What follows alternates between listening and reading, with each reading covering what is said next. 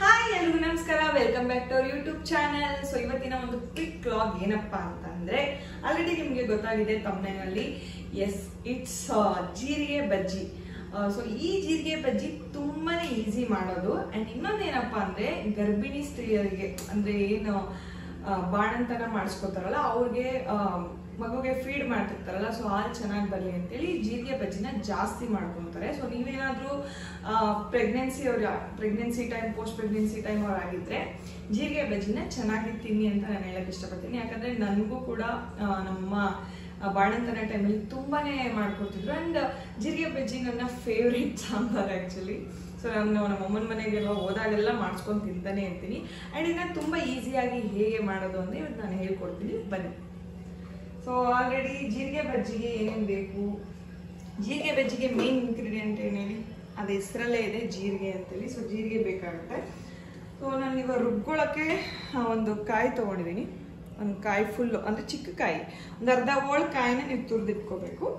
ನೀವು ಜನ ಜಾಸ್ತಿ ಇರೋದ್ರಿಂದ ಒಂದು ಫುಲ್ ಕಾಯಿನ ಇದು ಮಾಡ್ಕೊಂಡಿದ್ದೀನಿ ಸೊ ಒಂದು ಬಾಣಲಿ ತಗೊಂಡು ಫಸ್ಟ್ ಏನು ಮಾಡಬೇಕು? ಹೊಗೆ ಬರ್ತಾ ಇದೆ, ಒಂದು ನಿಮಿಷ ನೀರೆಲ್ಲ ಹೋಗ್ಬಿಡಿ.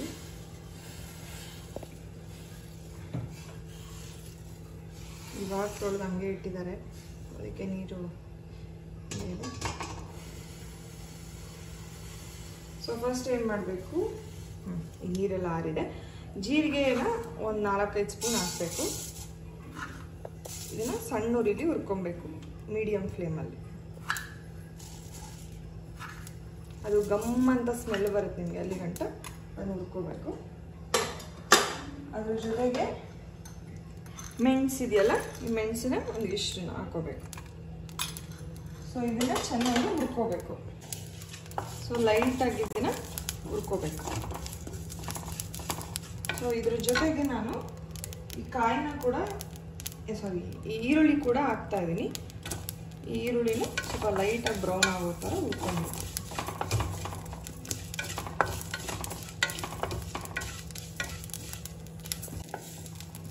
ಸೊ ಈಗ ನೋಡ್ತಾ ಇರ್ಬೋದು ನೀವು. ಫುಲ್ಲು ಬ್ರೌನ್ ಕಲರ್ ಆಗಿದೆ. ಜೀರಿಗೆ. ಸೊ ಇಷ್ಟು ಸಾಕು. ಸೊ ಇದನ್ನು ನಾವೇನು ರುಬ್ಬೋತೀವಲ್ಲ, ಅದಕ್ಕೆ ಹಾಕೋಬೇಕು.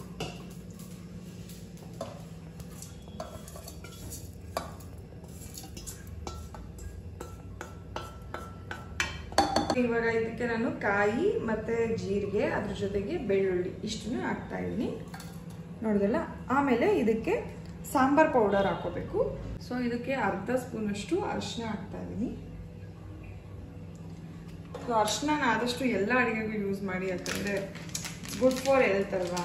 ಅದಕ್ಕೋಸ್ಕರ ಈಗ ತೇಜು ಸಾಂಬಾರ್ ಪೌಡರ್ನ ಹಾಕ್ತಾ ಇದ್ದೀನಿ ಸೊ ಇದು ಫುಲ್ ಪ್ಯಾಕೆಟ್ನೇ ಹಾಕ್ತೀನಿ.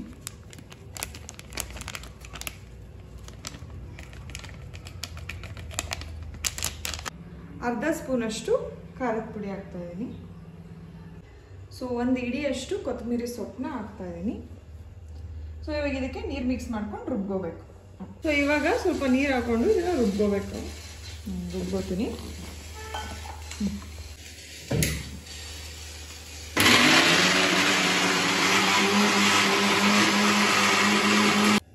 ಸೊ ಫಸ್ಟು ಒಲೆ ಹತ್ಕೊಂಡು ಒಂದು ಪಾತ್ರೆ ಇಟ್ಕೊಳ್ಳಿ.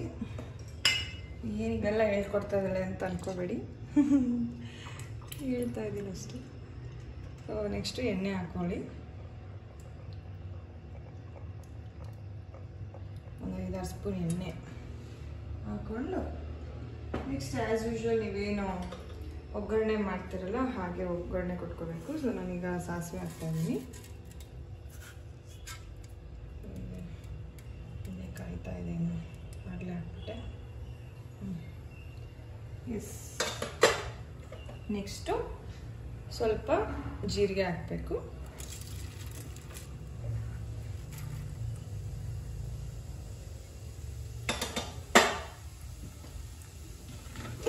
ಅದಾದಮೇಲೆ ಒಣಮೆಣ್ಸಿನ್ಕಾಯಿನ ಹಾಕೋಬೇಕು.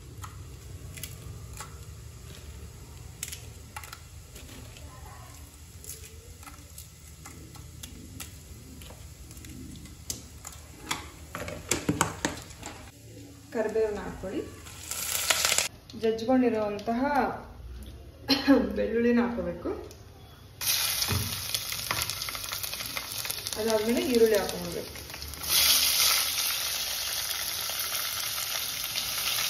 ಸೊ, ನಾನಿಲ್ಲಿ ಎರಡು ಈರುಳ್ಳಿನ ಆಲ್ರೆಡಿ ಕಟ್ ಮಾಡಿ ಇಟ್ಕೊಂಡಿದ್ದೆ ಇದನ್ನು ಹಾಕ್ತೆ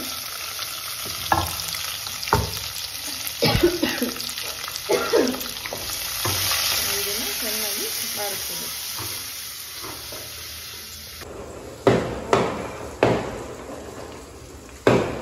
ಬೇಬಿ ಶೇಕ್ ಆಗ್ತಾ ಇದೆ ಅಡುಗೆ ಮಾಡಿ ಚೆನ್ನಾಗಿ ಹೊಡಿತಾರೆ ನಾನು ಅಡುಗೆ ಮಾಡ್ತಿರೋದು ಖುಷಿಯಾಗಿ ಡೈಲಿ ನಾನು ಮಾಡೋದು. ಬಟ್ ನಮ್ಮ ಅತ್ತೆ ಅವರು ಇವಾಗ ಬಂದಿರೋದ್ರಿಂದ ಅವರು ಅಡುಗೆ ಮಾಡ್ತಿದ್ದಾರೆ, ನಾನು ಅಡುಗೆ ಮಾಡ್ತಾರೆ ಸೊ ಇದು ನೋಡಿ ಬ್ರೌನ್ ಕಲರ್ ಆಗೋಂಗೆ ಸ್ವಲ್ಪ ಬಾಡಿಸ್ಕೋಬೇಕು ಇದಾದಮೇಲೆ ನಾವೇನು ರುಬ್ಕೊಂಡಿದ್ವಲ್ಲ ಈ ರುಬ್ಕೊಂಡಿರುವಂಥ ಮಿಶ್ರಣವನ್ನು ಇದರಲ್ಲಿ ಹಾಕಿಕೊಳ್ಳಬೇಕು. ಎಕ್ಸಸ್ ಇದೆಯಲ್ಲ, ಅದಕ್ಕೆಲ್ಲ ಸ್ವಲ್ಪ ನೀರು ಹಾಕ್ಕೊಂಡು. ಇದಕ್ಕೆ ನೀವು ಇವಾಗ ಎಷ್ಟು ಬೇಕೋ ಅಷ್ಟು, ಆ ಗಟ್ಟಿ ಎಲ್ಲ ಸ್ವಲ್ಪ ತೆಳ್ಳಗಾಗೋವರೆಗೂ ನಿಮ್ಗೆ ಎಷ್ಟು ಬೇಕೋ ಅಷ್ಟು ನೀರು ಹಾಕೋಬೋದು ಸೊ ನಿಮಗೆ ತುಂಬ ತೆಳ್ಳಗೆ ಬೇಕು ಅಂದರೆ ತೀರಾ ತೆಳ್ಳಗಾದ್ರೂ ಸಾಂಬಾರು ಚೆನ್ನಾಗಾಗಲ್ಲ. ಸೊ ಮೀಡಿಯಮ್ ಆಗಿ ತೆಳ್ಳಗೆ ಮಾಡ್ಕೊಬೇಕು. ಆಲ್ರೆಡಿ ಸ್ವಲ್ಪ ಗಟ್ಟಿ ಗಟ್ಟಿ ಇರೋದ್ರಿಂದ ಇನ್ನೊಂದು ಸ್ವಲ್ಪ ನೀರು ಹಾಕ್ತೀನಿ. ಸೊ ಇನ್ನೊಂದು ಗ್ಲಾಸ್ ನೀರು ಹಾಕ್ತೀನಿ ಇವೆಲ್ಲ ಕರಲಿ ಅಂತ. ಸೊ ನೋಡಿ, ಇನ್ನೂ ಗಟ್ಟಿನೇ ಇದೆ ಸಾಂಬಾರು.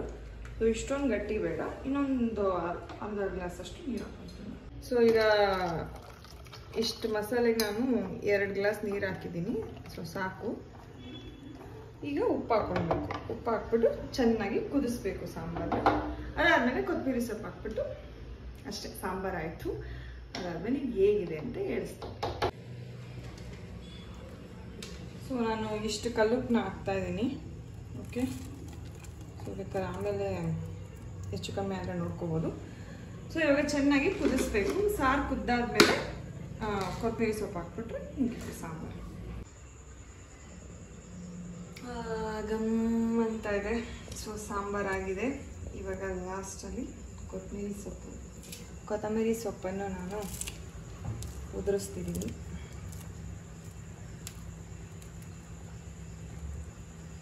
ಓಕೆ ಎಲ್ಲ ಆಯಿತು. ಈಗ ಒಂದ್ಸಲ ಕೆಳಗೆ ಮೇಲೆ ಮಾಡಿ ಆಫ್ ಮಾಡ್ತೀನಿ ಸಾಂಬಾರನ್ನ ಸೊ ಸಾಂಬಾರು ರೆಡಿ ಇದೆ. ನೋಡಿದ್ರಲ್ಲ ಸಾಂಬಾರು ಹೇಗಿದೆ ಅಂತೇಳಿ.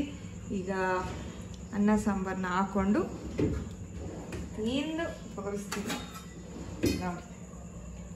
ಸೊ ಈಗ ರೈಸ್ ಹಾಕೊಂಡಿದ್ದೀನಿ ಈಗ ಸಾಂಬಾರನ್ನ ಹಾಕ್ಕೊತೀನಿ ನೋಡಿ, ಸಾಂಬಾರು ಚೆನ್ನಾಗಾಗಿದೆ.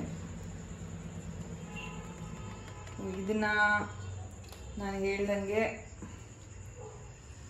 ಬಾಣಂತಿಯರಿಗೆ ತುಂಬಾ ಒಳ್ಳೆಯದಿದು ಯಾಕಂದರೆ ನಾವು ಫೀಡ್ ಮಾಡೋದ್ರಿಂದ, ಬಾಣಂತನ ಟೈಮಲ್ಲಿ ಫೀಡ್ ಮಾಡೋದ್ರಿಂದ ಮಕ್ಕಳಿಗೆ ಹಾಲು ಚೆನ್ನಾಗಿ ಬರುತ್ತೆ. ಸೊ ಜೀರಿಗೆ ಐಟಮ್ಸ್ನ ಜಾಸ್ತಿ ತಿನ್ನಿಸ್ತಾರೆ ಬಾಣಂತನ ಟೈಮಲ್ಲಿ ಸೊ ದಿಸ್ ವಿಡಿಯೋ ನಾನು ಅಂದ್ಕೊತೀನಿ ತುಂಬ ಹೆಲ್ಪ್ಫುಲ್ ಆಗುತ್ತೆ ಅಂಥೇಳಿ ಸೊ ಎಲ್ಲರಿಗೂ